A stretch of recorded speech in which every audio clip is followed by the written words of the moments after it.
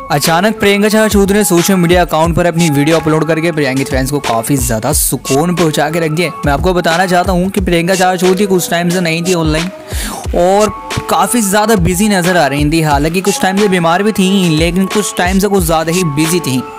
लेकिन प्रियंका चार चौधरी ने सोचा कि शायद मेरे होंगे। प्रियंका फैंस को ज़्यादा ही परेशान, जिसकी वजह से मुझे देनी पड़ेगी कुछ ना कुछ वीडियो जिसे देख करके वो हो सके खुश।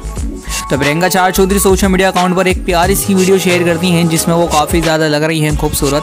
मतलब यार, इस बंदी का समझ में नहीं आता कि आखिर ऐसा क्या करती हैं जो इतनी ज़्यादा परफेक्ट लगती हैं।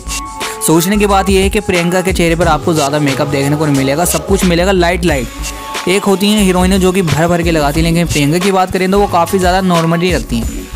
अब बात सारी ये है जब प्रियंका ने करी सोशल मीडिया अकाउंट पर अपने इंस्टा पर ये वीडियो शेयर तो प्रियंकित के कुछ तीखे तीखे चटपटे से क्वेश्चन पूछते हुए आए नज़र। ये बताता हूँ, मैं आपको स्वागत है आपका मेरे चैनल बॉलीवुड हाईलाइट्स मेरे चैनल पर नए फटाफट सब्सक्राइब करें।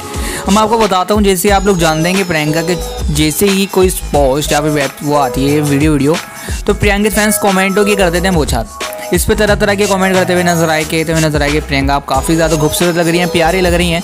बात सारी यहाँ पर यह आती है कि होना चाहिए था अंकित गुप्ता को भी प्रियंका के इस वीडियो में साथ। क्योंकि हम जो चाहते हैं ना, वो चाहते हैं कि प्रियंका और अंकित एक बार साथ देखने को मिल जाए, फिर से यार इनकी रोमांटिक वीडियो काफ़ी ज़्यादा प्यारी लगती है। क्या आप भी साथ में देखना चाहते हैं? कॉमेंट करके बताएँ।